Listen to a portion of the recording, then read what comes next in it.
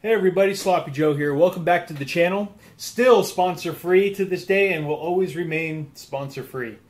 And if you have a real favorite YouTube channel or things like that, especially when it comes to firearms, you kind of understand why I make that joke, uh, as it seems a lot of the, a lot of my favorite uh, YouTube channels are going sponsored, and that I think always uh, it, it's interesting to me to see the change when they are independent to when they go sponsored, and how suddenly you start seeing uh, T-shirts appear and baseball hats of certain companies or certain things, and now then you start hearing things mentioned more and what they favor more. It's always it's it's hilarious to me that I've seen that in the last couple months. Uh, some of my favorites have started mentioning uh, things a lot more and wearing attire that is from a certain company or a builder or manufacturer or, or a retailer. So, anyway, this will always remain 100% uh, sponsor free, which means that I can always say what I want about anything I want. So, what I want to talk to you guys today about, if that sound right? Maybe. Um, Makarov pistols, or what is and what is not a Makarov pistol. Uh, I've seen a lot of confusion out there, uh, especially as I troll like the uh, the arms lists, the gun brokers, the local gun shops, things like that. You see a lot of misinformation, and it's probably not. Uh, it's not on purpose. It's not meant to confuse people. It's just that it's easier to call something that shoots the Makarov round, just call it a Makarov, even though anything that shoots a 9x18 round is not a Makarov. Now, what is and is not a Makarov is it's very simple. You just have to know what to look for and what to avoid. Uh, so we're going to talk a little bit about that. We're going to go through what some real Makarov pistols would be versus what some non-Makarov pistols would be.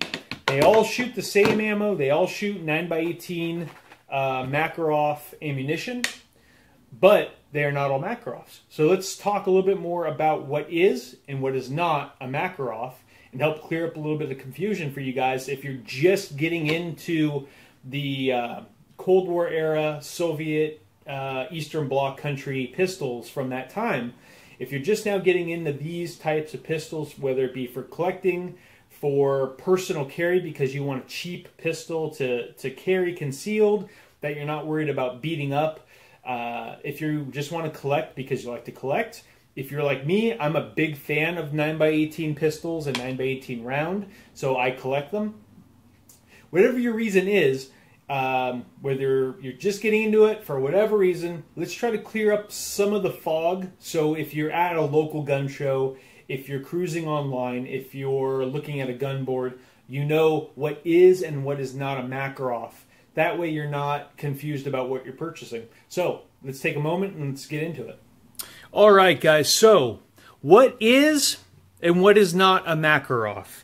So this is something that we always see if, if we're searching, whether it be gun broker, arms list, you go to a gun show, uh, your local gun shop. A lot of them will mark anything that fires a 9x18 Makarov round. They will call it a Makarov.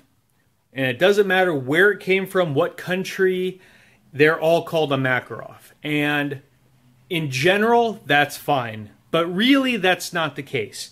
So let's talk a little bit about what is a Makarov. What is a Makarov is anything that would have come out of Russia that looks like this, says Makarov on it, or was produced by, let me get that in there, uh, Baikal. And Baikal is the company that manufactured the commercial Makarovs for export to the U.S uh, basically for consumer usage. And the only difference between this and a military pistol is the adjustable rear sight. And that was mandated to basically now classify this pistol as a sporting pistol versus military pistol. But other than that, it is the same pistol, same frame, same working parts, made in the same factory by the same people. All the same.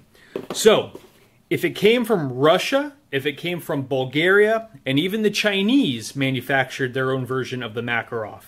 Those I would say are Makarov pistols, real Makarovs. Now, a lot of stuff that you see marked as Makarov could have come from any of the Eastern Bloc countries. That would have been Poland, Hungary, Czech Republic. They all manufactured their own pistols that fired, again, the 9x18 Makarov round. Now, these were introduced, the real Makarovs were introduced in the late 40s, basically when the Russians saw a need to replace the Tokarev. So they went away from the larger single stack Tokarev, moved to the smaller caliber, small, uh, slower moving round, and developed this pistol, the Makarov. And it is, I believe, still in service to this day with certain military and police units.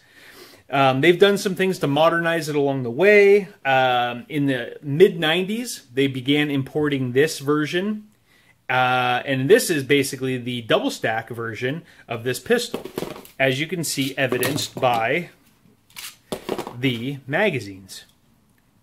So this was your 8 round capacity mag. This is a 10 round commercial mag. These could also be gotten in 12 round versions. Now the only other really high capacity uh, 9x18 variant pistols were made by the Czechs, the CZ82. Now, that is not shown on the table, and that is because I have not acquired one that I really wanted to buy. Um, I've missed the boat a couple times where some of the uh, AIM surpluses, things like that, where they've gotten some in, and they were really nice. Now, I, have missed that boat a couple times, and generally, when I come across them, they're pretty haggard, they're pretty beat up the uh, the finish on those pistols was it was kind of a paint on finish, and a lot of it had chipped away, and they just looked very in, in a very poor state. And for the money that people are asking for them, uh, I'll just kind of hold out and wait for one that is in in really good condition and and pay good money for it, rather than paying premium dollars for something that's really beat up. So the only pistol kind of not represented here in the 9x18 category is the CZ82, which in its which in itself operates exactly the same as all these pistols. It is a 9x18 variant blowback, blowback meaning that the the way that it works basically is when you pull the trigger, this is empty by the way. When you pull the trigger and fire, the action the slide doesn't the barrel the barrel's locked in place the slide just goes back and forth. The only thing holding this slide forward is the recoil spring inside of here and i will show you that real quick. Do a quick takedown. So the barrel is in a fixed position. The barrel does not move. It doesn't uh, hinge. It doesn't do anything. It's in a fixed position pinned to the frame. The only thing that basically works or moves on this when you pull the trigger is you've got the recoil spring, which is basically compressed inside of here. You pull the trigger, it blows back, operates, ejects, picks up a new round, and moves forward. It's just a straight back and forth motion. The barrel doesn't move, nothing else moves. It's a very simple, rugged, and honestly cheap design, which is why the Russians went to this design because it was cheap to manufacture easy to maintain, and the parts interchanged very easily from pistol to pistol. Uh, and other than that, in the field, they were easy to clean. Nothing, you, you couldn't lose any parts because it just broke down into three pieces, which was the frame, the top slide, and if you really wanted to, you could pull the recoil spring off and you have three pieces. Four if you include the magazine. So they were a very simple, rugged, cheap design to make, wherein the internal pieces and parts sometimes serve two or three purposes in the action of the weapon. So it's just very simple. So moving over to some other countries, the uh, Hungarians, they developed what they called the FEG, and this is the PA63. And it is, looks, feels everything like a Walther PP. It is almost an exact copy. Very few differences, but by and large, it is an exact copy of a Walther PP. Uh, and the nice thing about these, which is more traditional to Western Europe versus uh, the Eastern countries, Eastern Bloc countries, is it had a thumb magazine release right there built into the side of the slide. Whereas the Russians and the Bulgarians, uh, and even the Polish in this case, they went with the bottom the bottom release that was right behind the magazine at the bottom of the grip. So the Hungarians built this. Now this is not a Makarov. This is a FEG PA63. It fires a 9x18 uh, round, but it is not a Makarov. This is a Hungarian FEG PA63. And I'm going to say that over and over because it is not a Makarov. So you'll see these often. When I when I found this online, uh, I went in, searched out FEG PA63s local to me, didn't pop up with anything. Then I said, "Oh yeah, let me type in Makarov." Once you type in Makarov, oh, this pops up. So it is not a Makarov. It wasn't classified as a Makarov. It wasn't designed by the man named Makarov. This was designed by the Hungarians for their use. This was their military and police pistol. And again, it is basically a copy of a Walther PP.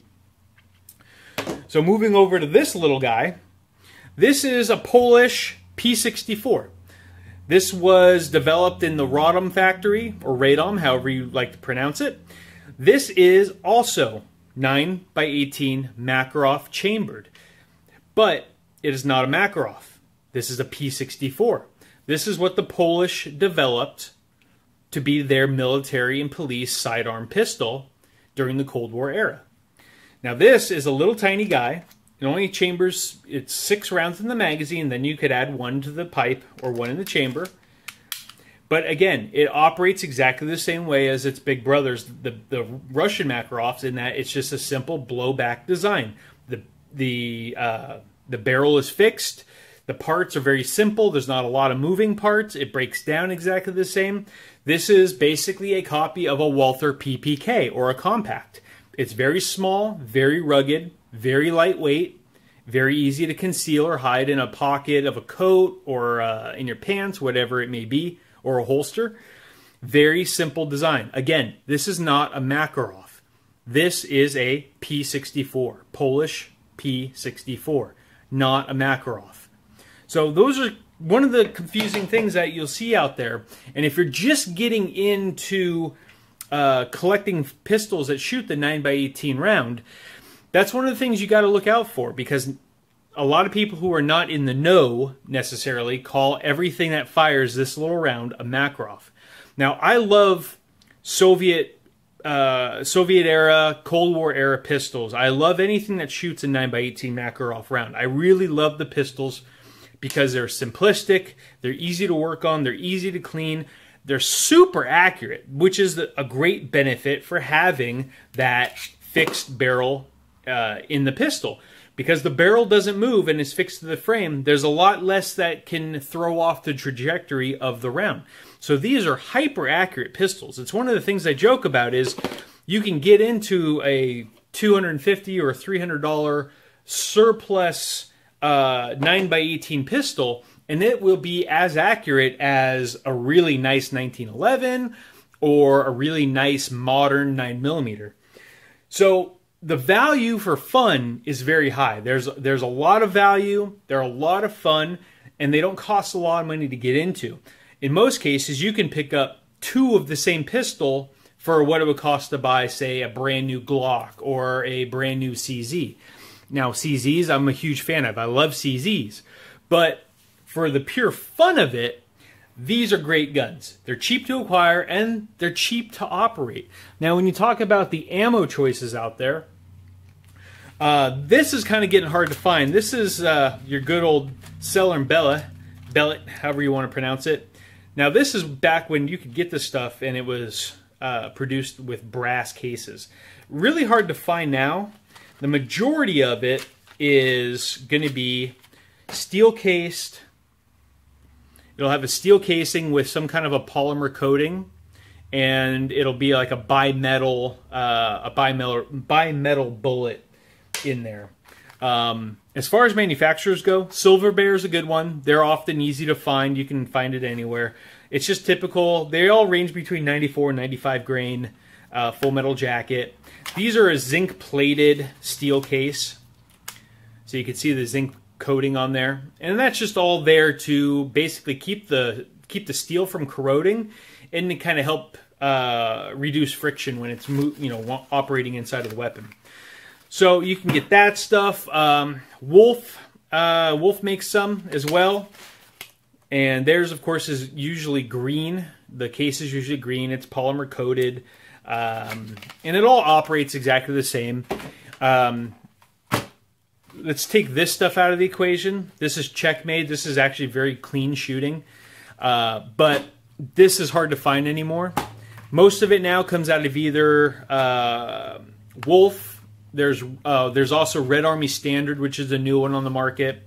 Uh, Silver Bear. Most of it comes out of Russia. It is a little bit dirty when you shoot it. Uh, it does tend to uh, throw a lot of soot and crud and you know just un, you know just a lot of slime. It just tends to be a dirty shooting ammunition.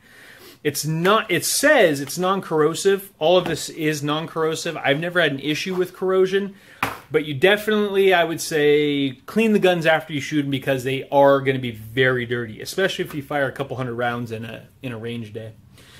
So, again, let's just recap this real fast. This is a Makarov.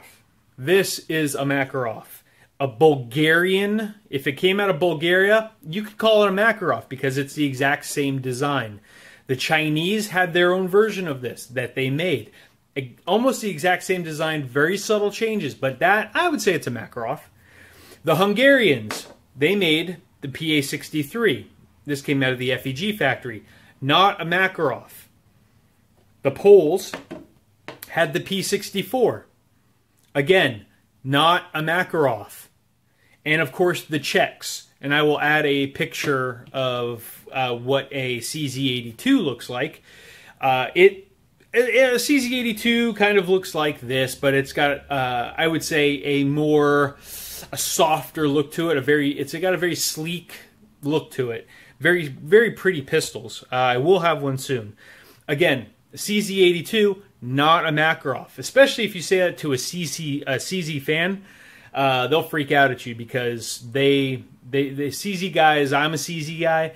Definitely not a Makarov. A CZ is a CZ, but it does shoot the 9x18 Makarov round, but not a Makarov. This is only the way this kind of works is back when Russia ruled everything in Eastern Europe. They mandated all their bloc countries, the the Czechs, uh, the Romanians, the Bulgarians, the Poles, the Hungarians, everyone had to have a pistol that fired this round. So they said, okay, fine, we're not going to adopt your Makarov. We're going to come up with our own thing, which is why you have, you know, copies. You have basically, they took what the best thing at the time was, which was the Walther PP. The Hungarians almost copied it verbatim. This is almost exactly a Walther, but it's chambered in 9x18 Makarov. The Poles said, okay, we like the PPK. We're going to copy that and you ended up with the P64. Not a Makarov, it just shoots the same ammo. So hopefully this kind of opens up, uh, you know, kind of opens up your brain a little bit. You kind of know a little bit more now than you did 10 minutes ago about what a Makarov really is. Just because it fires the 9x18 Makarov round, it does not mean it's a Makarov. If it came from Russia, Bulgaria, and arguably China, I would call that a Makarov because it is this designed pistol. If it came out of Hungary, if it came from Poland, if it came from the Czech Republic, uh, at the time Czechoslovakia, those are not Makarovs. Those are all their own pistols. And the big reason for that is parts from these two, the Polish and the Hungarian, these don't interchange. Parts from these two will not interchange with these. But you open these two up, a lot of the parts will interchange with each other, even though that this is a single stack, this is a double stack. If this was a Bulgarian Makarov and this was a Russian Makarov, all the parts would interchange, I would think 100%. That's the way they were. So a real Makarov will have almost 100 or will will have 100% parts interchangeability. This does not share anything with these. This does not share anything with these. So, a Makarov, parts interchangeability. If it's not a Makarov, it won't interchange parts. So remember, the Russians, Bulgarians, Chinese, pretty much all the same pistol. The Hungarians, the Poles, the Czechs, completely different pistols all to themselves. So hopefully that kind of clarifies a little bit what is and what is not a Makarov. Maybe it helps with some confusion. Maybe if you've been to a gun show, you've been to a, um, a local gun shop, or even searching online, and you have a little confusion of what is or is not a Makarov. Hopefully this clears it up for you. So if you have any questions, comments, please post them up. I'm always uh, I'm always available to answer them as best as I can. Uh, that's it. So thanks for tuning in, guys. We'll talk to you later.